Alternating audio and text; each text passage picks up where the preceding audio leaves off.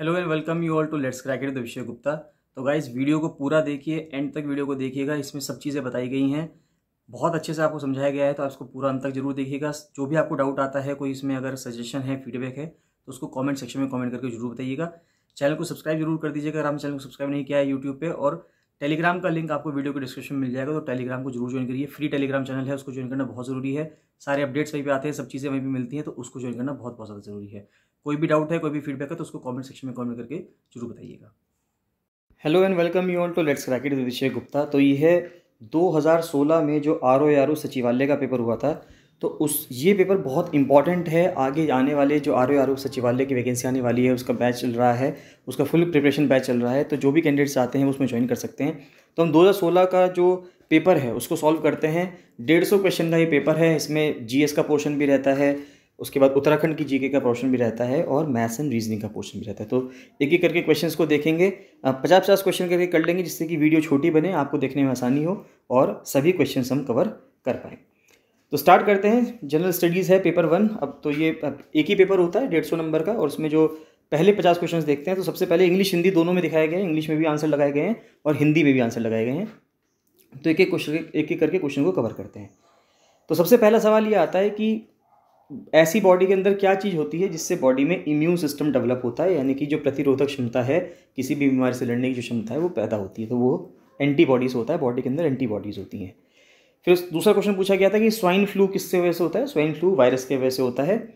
फिर प्रोटीन का main element क्या है? प्रोटीन के अंदर ऐसी क्या चीज़ होती है जो मेन होती है? वो होता है नाइट्रोजन उसके बाद कहा गया है कि जो थर्मोडाइनमिक्स है, उसका पहला लॉ किसके कंजर्वेशन की बात करता है? थर्मोडाइनमिक्स का जो पहला लॉ है, वो एनर्जी के कंजर्वेशन की बात करता है, यानी कि ऊर्जा के कंजर्वेशन की बात करता है। फिर पांचवा क्वेश्चन आता है कि इन्वायरमेंट की प्रॉब्लम्स को देखते हुए कौन सा इंसेक्टिसाइड ऐसा है जिसका इस्तेमाल को कम कर दिया गया है या लगभग लगभग ख़त्म कर दिया गया है तो वो है डीडीटी फिर नेक्स्ट क्वेश्चन आता है कि पेट्रोल से लगी हुई आग को आप किस तरह से बुझा सकते हैं? तो पेट्रोल से लगी आग को आप उस पर कार्बन डाइऑक्साइड छिड़क कर या जो कार्बन डाइऑक्साइड गैस है उसको उस पर स्प्रे करके आप उस आग को बुझा सकते हैं। फ्रूट राइपनिंग हार्मोन वो क्या है? फ्रूट राइपनिंग का मतलब ये होगा कि अगर हमें फलों को, कच्चे फल को जल्दी पकाना है तो उसमें हम क्या लगाएँ? जिससे कि वो पक जाए तो इथिलीन गैस होती है। तो इथाइलिन गैस जो है, ये ऑप्शन अगर आप उसको उस पर रिलीज़ करेंगे तो वो इजीली बहुत तेज़ी से उनका जो राइपनिंग रेट है, पकने का जो दर है, वो बढ़ जाती है। सनफ्लावर के बीजों से क्या मिलता है? सनफ्लावर के बीजों से तेल मिलता है। पार्सेक किस चीज़ की यूनिट है? पार्सेक जो है वो दूरी की यूनिट है, डिस्टेंस की यूनिट है। उसके बाद आता है कि चार्ल्स बैबेज ने जो पहला कंप्यूटर डिज़ाइन किया था, उस कंप्यूटर को क्या कहा जाता है? तो जो चार्ल्स बैबेज ने पहला कंप्यूटर बनाया था, उसको एनालिटिकल इंजन कहा जाता है। फिर नेक्स्ट आता है कि नॉन वोलेटाइल मेमोरी का एग्ज़ाम्पल क्या है? नॉन वोलेटाइल और वोलेटाइल मेमोरी क्या होती है? हिंदी में भी यही चीज़ लिखी हुई है, वोलेटाइल और नॉन वोलेटाइल तो नॉन वोलेटाइल मेमोरी वो मेमोरी होती है जिसको हम ख़त्म नहीं कर सकते, हटा नहीं सकते। और वोलेटाइल मेमोरी वो होती है जिसको आप डिलीट कर सकते हो और वापस से उस पर कुछ लिख सकते हैं। तो कैश मेमोरी ये टेम्प्रेरी मेमोरी होती है। इसमें जो भी आप काम कर रहे होते हैं वो कैश मेमोरी में जाता है। रैम जो होती है ये भी हम हटा सकते हैं, लेकिन रीड ओनली मेमोरी रोम जो होती है वो एक ऐसी मेमोरी है जिसको आप हटा नहीं सकते, जो कि किसी भी कंप्यूटर जब कंप्यूटर बनाया जाता है लैपटॉप तैयार होता है पीसी तैयार होता है, तब उसमें परमानेंटली उसमें स्टोर कर दी जाती है इन्फॉर्मेशन तो वो रोम के अंदर होती है।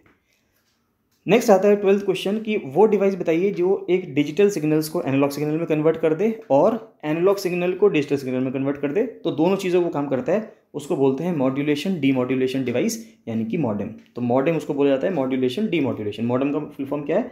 एमओ से मॉडम मॉड्यूलेशन और डी एम से डीमॉड्यूलेशन फिर नेक्स्ट आता है कि super most powerful type of computer कौन सा है? Super micro super micro mini तो सबको पता है सुपर कंप्यूटर ही सबसे ज़्यादा पावरफुल कंप्यूटर है। नेक्स्ट आता है कि डेटाबेस को मैनेज करने के लिए इसमें से हम किस चीज़ का इस्तेमाल करते हैं? ऑपरेटिंग सिस्टम का करते हैं क्या? कंपाइलर का या डी बी एम एस का? देखिए, नाम ही डी बी एम एस है, यानी कि डेटाबेस मैनेजमेंट सिस्टम तो डेटाबेस को मैनेज करने के लिए डी बी एम एस का इस्तेमाल किया जाता है।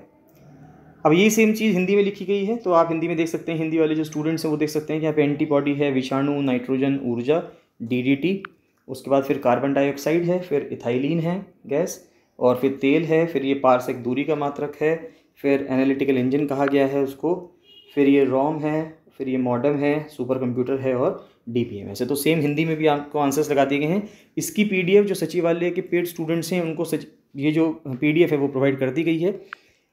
उन स्टूडेंट्स को मिल जाएगी। बाकी आप लोग एक बार इस वीडियो को अंत तक ज़रूर देखिएगा, जिससे कि आपको सारे के सारे क्वेश्चन के आंसर्स पता चल जाएँ।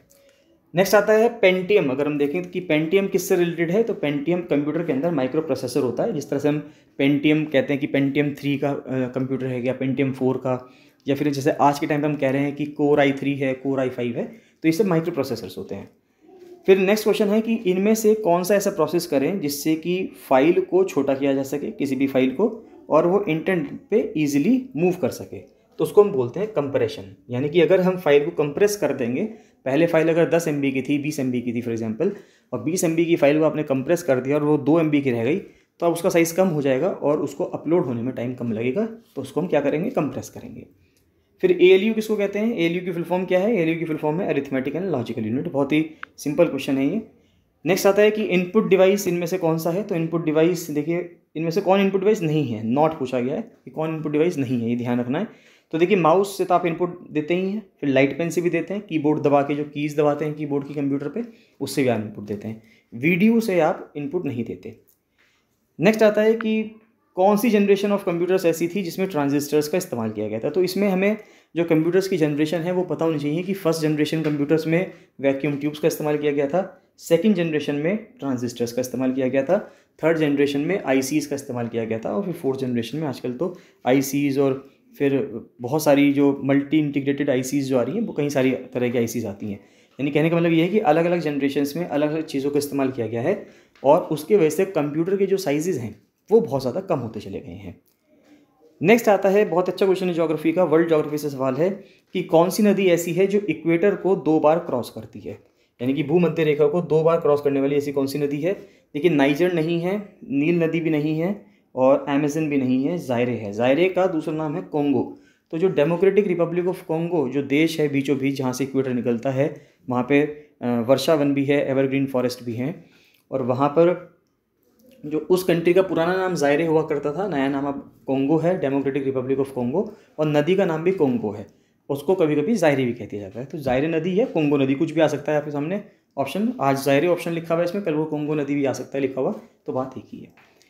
नेक्स्ट है कि इनमें से कंट्री कैपिटल का जो पेयर दे रखा है, उनमें से कौन सा करेक्ट पेयर नहीं है। तो देखिए करेक्ट अगर पेयर की बात करें तो ब्राज़ील और ब्रासीलिया ये सही है। ब्राज़ील की राजधानी रियो डी जेनेरियो बिल्कुल भी नहीं है। अगर आपको ये लगता हो कि ब्राज़ील की राजधानी रियो डी जेनेरियो वो गलत है। ब्राज़ील की राजधानी ब्रासीलिया है ट्यूनिशिया की राजधानी ट्यूनिश है अल्जीरिया की एल्जायर्स है मोरक्को की रबात है। R A B A T A तो ये जो है, ये कैपिटल है मोरक्को की माराकेश वहाँ का एक शहर है। माराकेश ट्रीटी एक बार साइन हुई गई थी। तो आप मुझे कमेंट सेक्शन में कमेंट करके बताएँगे कि माराकेश ट्रीटी किस चीज़ से संबंधित है। नेक्स्ट आता है कि म्यांमार के बॉर्डर पे अगर हम देखें तो भारतीय स्टेट्स को नॉर्थ से साउथ के सीक्वेंस में लगाना है। यानी कि करेक्ट नॉर्थ साउथ सीक्वेंस क्या होगा सभी राज्यों का म्यांमार बॉर्डर पे। तो आपको ध्यान रखना है अरुणा मामी है ना? अगर आप अरुणा मामी ध्यान रखेंगे तो आपका काम हो जाएगा।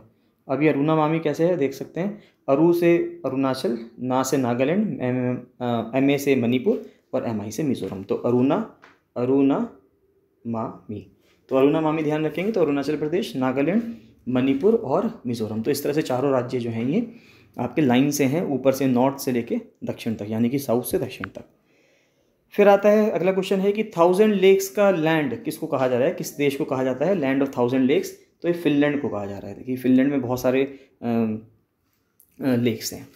नेक्स्ट आता है कि इनमें से किस देश में लाइव स्टॉक रेंचिंग बहुत ज़्यादा फ़ेमस है। लाइव स्टॉक रेंचिंग का मतलब है कि बहुत बड़ी मात्रा में हम लाइव स्टॉक्स पालते हैं, यानी कि जो मवेशी हैं, जानवर हैं, उनको पालते हैं, और वो वहाँ पे चरते भी हैं, घास वगैरह भी चरते हैं। तो देखिए, घास वो वहाँ चर पाएँगे जहाँ घास का मैदान होंगे। तो ऐसे वेनेजुएला में भी है वैसे तो घास का मैदान कोलंबिया में इतना कुछ खास नहीं है ब्राज़ील में है और अर्जेंटीना में लेकिन जो बहुत ज़्यादा फ़ेमस है पंपास के मैदान लाइव स्टॉक रेंचिंग के लिए वो अर्जेंटीना में है। नेक्स्ट आता है कि भारत की सबसे लंबी, जो लॉन्गेस्ट इंटरनेशनल बाउंड्री है, वो उसके साथ है। ज़्यादातर लोगों को लगता है वो चाइना है, लेकिन जिन लोगों ने पढ़ा हुआ है, वो बता देंगे ईजिली कि बांग्लादेश के साथ सबसे लंबी इंटरनेशनल बाउंड्री है four thousand ninety six point seven kilometres लंबी। चाइना की फिर दूसरे नंबर पर आती है, तीन हज़ार तीन सौ तेईस किलोमीटर लंबी। उसके बाद फिर पाकिस्तान आता है, फिर नेपाल, म्यांमार, ऐसे करके सभी आ जाती हैं। फिर नेक्स्ट आता है कि 2011 सेंसस के हिसाब से बताइए कि किस राज्य की हाईएस्ट लिटरेसी रेट है। देखिए हाईएस्ट लिटरेसी रेट वैसे केरला का है। लेकिन इन चारों ऑप्शंस जो दिए हुए हैं, इनमें से सबसे ज़्यादा लिटरेसी रेट मिजोरम का है। और इनमें से कौन सी पीक ऐसी है जो उत्तराखंड में लोकेटेड नहीं है? तो देखिए, कामेत उत्तराखंड के अंदर है, बांदरपुंछ है और दूनगिरी भी है, लेकिन नंगा पर्वत जो है वो उत्तराखंड के अंदर लोकेटेड नहीं है। यही सेम चीज़ हिंदी में भी है तो आप पेंटियम जो है वो माइक्रो प्रोसेसर है। छोटी करने के लिए फ़ाइल को कंप्रेशन का इस्तेमाल करते हैं। ए का तात्पर्य है अरिथमेटिक एंड लॉजिकल यूनिट उसके बाद इनपुट डिवाइस नहीं है वीडियो नहीं है। ट्रांजिस्टर जो है दूसरी पीढ़ी में उपयोग हुआ है भूमध्य रेखा को दो बार जायरे ने काटा है। फिर कौन सी देश राजधानी सुमिलित सही नहीं है? तो मोरक्को और मराकेश है। फिर कौन से उत्तर से दक्षिण में? तो अरुणा मामी ध्यान रखिएगा।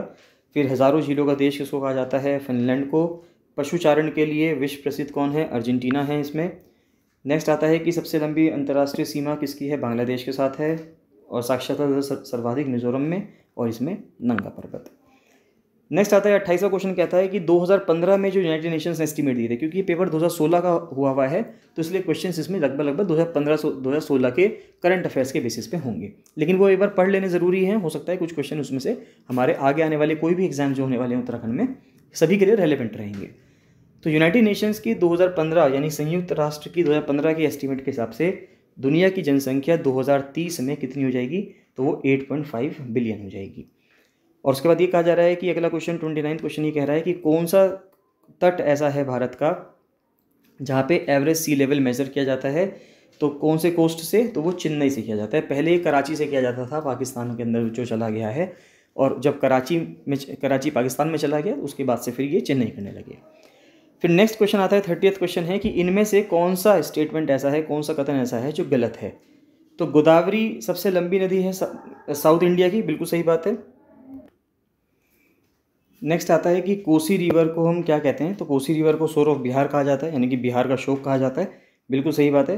फिर आता है कि ब्रह्मपुत्र एक एंटीसीडेंटल रिवर है, यानी कि वो हिमालय पर्वत बनने से पहले भी हुआ करती थी और उसके बनने के बाद भी है। तो उसको एंटीसीडेंटल रिवर कहा जाता है तो बिल्कुल सही बात है। और कहा जा रहा है लास्ट स्टेटमेंट ये है कि गंगा गंगोत्री से ओरिजिनेट करती है, ये गलत है। पहली बात तो गंगा ओरिजिनेट अगर हम देखें तो गंगा रिवर जो बनती है, वो देवप्रयाग से बनती है। उससे पहले भागीरथी नदी बनती है जो कि गोमू ग्लेशियर से निकलती है और गंगोत्री के पास से निकलती है। गंगोत्री डिस्ट गंगोत्री जो एरिया है उत्तरकाशी डिस्ट्रिक्ट में, वहाँ पे गोमू ग्लेशियर है, वहाँ से निकलती है। तो गंगा तो गंगोत्री से नहीं निकलती, यही स्टेटमेंट इसमें इनकरेक्ट है। फिर आता है इनमें से कौन सा स्टेट और उसकी डेट ऑफ़ फॉर्मेशन का जो पेयर है वो करेक्टली मैच्ड है। तो हरियाणा ही सही है, हरियाणा 1966 में बना था। हालाँकि तेलंगाना 2014 में तो बना है, लेकिन 15 अगस्त को नहीं बना, दो जून को बना है। तो इसलिए ये स्टेटमेंट्स ये बाकी तीन जो हैं, ये गलत सुमिलित हैं। जो सही सुमिलित है, यानी कि सही जो करेक्टली मैच्ड है, वो हरियाणा फ़र्स्ट नवंबर 1966 फिर आपको बताना है थर्टी सेकेंड क्वेश्चन में कि सबसे बड़ा प्रोड्यूसर कौन है दालों का भारत में? वो मध्य प्रदेश है। और बॉक्साइट की लार्जेस्ट रिज़र्व कहाँ है? किस देश के अंदर बॉक्साइट का लार्जेस्ट रिज़र्व है? वो ऑस्ट्रेलिया में है। फिर नेक्स्ट क्वेश्चन कह रहा है कि इनमें से कौन सा राज्य ऐसा है जिसका लार्जेस्ट फॉरेस्ट एरिया है भारत में? वो है मध्य प्रदेश।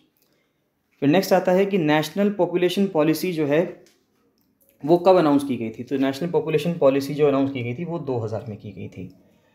फिर नेक्स्ट आता है वर्ल्ड पॉपुलेशन डे कब ऑब्ज़र्व किया जाता है? तो वर्ल्ड पॉपुलेशन डे 11 जुलाई को ऑब्ज़र्व किया जाता है। और mobility transition model of migration ये किसने दिया था? ये सब ट्वेल्थ क्लास की जो अगर आप एन e पढ़ेंगे जोग्राफी की तो जो इकोनॉमिक जोग्राफी और पॉपुलेशन जोग्राफी है, जो हम पढ़ते हैं डेमोग्राफी इलेवंथ और ट्वेल्थ क्लास की जो एन सी है बेसिकली ट्वेल्थ क्लास की एन है जोग्राफी की, उसमें सब चीज़ मिलेंगी आपको। तो ये है जेलेंस की नेक्स्ट है कि कौन सा पेयर इसमें से करेक्टली मैच नहीं है? थारू उत्तर प्रदेश की ट्राइब है, यानी कि उत्तराखंड में भी रहती है और उत्तर प्रदेश में मिलती है। गद्दी हिमाचल प्रदेश में मिलती है, टोडा तमिलनाडु में मिलती है, कोनियाक आपको केरला में नहीं मिलेगी, कोनियाक आपको मिलेगी नागालैंड में। नेक्स्ट आता है 2011 सेंसस के हिसाब से हाईएस्ट सेक्स रेशो कहाँ पे है? हाईएस्ट सेक्स रेशो वहीं पे है जहाँ पे हाईएस्ट लिटरेसी रेट है, यानी केरला का।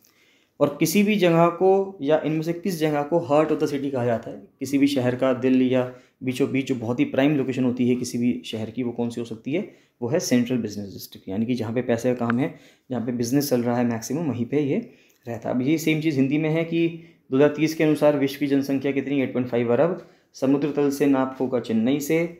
फिर में से कौन सा कथन गलत है? गंगा नदी, गंगोत्री से निकलती है, गलत है।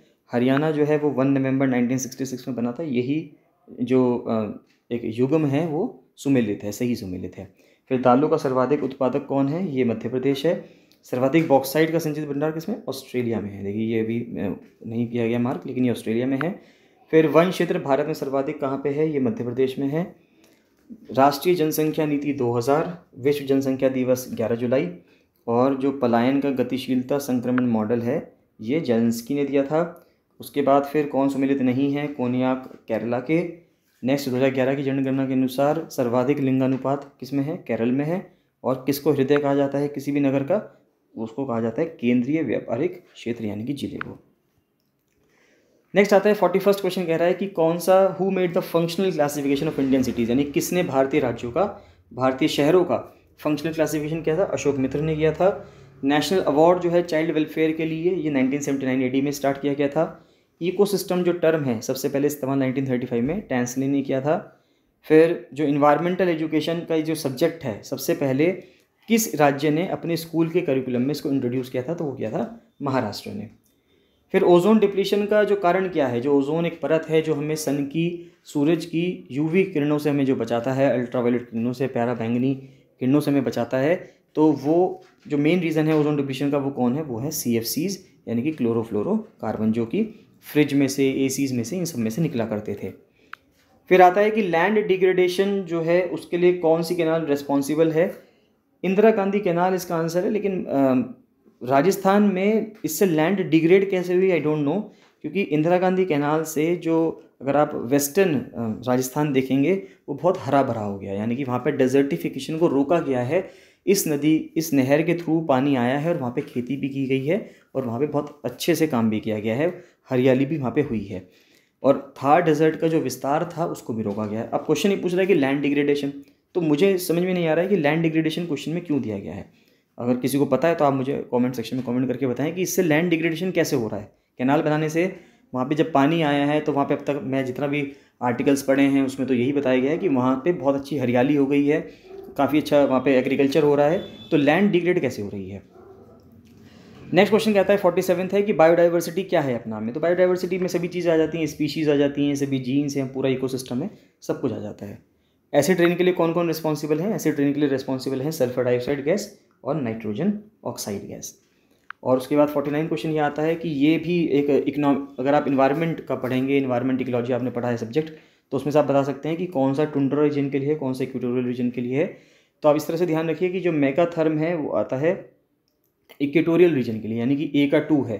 फिर मीजोथर्म आता है ट्रॉपिकल रीजन के लिए माइक्रोथर्म आता है टेम्परेट रीजन के लिए, और जो हैकिस्टोथर्म है, ये आता है बहुत ही ठंडे इलाके के लिए, यानी कि टुंड्रा रीजन के लिए। तो ए का टू है बी का थ्री है सी का फोर है, और डी का वन है। तो ए का टू बी का थ्री सी का फोर और डी का वन एंड सेम चीज़ें हिंदी में हैं तो भारतीय नगरों का कार्यात्मक वर्गीकरण अशोक मित्र ने किया था, जो बाल कल्याण के लिए राष्ट्रीय पुरस्कार है 1979 में लगे 1935 में परितंत्र शब्द का शब्द का प्रथम प्रयोग किसने किया था? ट्रांसले ने किया। पर्यावरणीय शिक्षा महाराष्ट्र में शुरू हुई। फिर क्लोरोफ्लोरोकार्बन रिस्पॉन्सिबल है ओजोन ओजोन लेयर के हरास के लिए। फिर राजस्थान में भूमि शरण के लिए उत्तरदायी कौन है? इंदिरा गांधी कैनाल है। जैव विविधता जो है वो संपूर्ण प्रजातियों, संपूर्ण जीन में संपूर्ण परितंत्रों का योग है। फिर अम्ल वर्षा के लिए कौन उत्तरदायी है? सल्फ़र डाइऑक्साइड और नाइट्रोजन डाइऑक्साइड या नाइट्रोजन ऑक्साइड। और उसके बाद फिर इनमें से आपको ये पादप हैं और ये जलवायु प्रदेश हैं। तो ये टू थ्री फोर वन इसका सही जवाब है। एक फिफ्टियथ क्वेश्चन और देख लेते हैं। तो फिफ्टी क्वेश्चन ये कह रहा है कि सेंट्रल गवर्नमेंट की जो स्टैंड अप इंडिया स्कीम है, उसको प्रमोट करने के लिए, ये एंटरप्रेन्योरशिप को प्रमोट करने के लिए ये किस किस के लिए चलाई गई थी? तो ये एस सी और महिलाओं के लिए ये स्कीम चलाई गई है। बाकी और जो क्वेश्चन है वो हम नेक्स्ट वीडियो में कवर कर देंगे गाइस अगर आपको कोई भी इसमें डाउट आता है, कोई भी आपको डाउट है तो आप मुझे कमेंट सेक्शन में कमेंट करके ज़रूर बताइएगा। बाकी जितने भी क्वेश्चंस आपके इस दौरान पूछे गए हैं, जितनी भी चीज़ें मैंने आपसे पूछी हैं तो आप उसको भी कमेंट सेक्शन की धरती को उससे चमकाइएगा अपने कमेंट्स को करके। चलिए बाकी मिलते हैं नेक्स्ट वीडियो में। So thank you and bye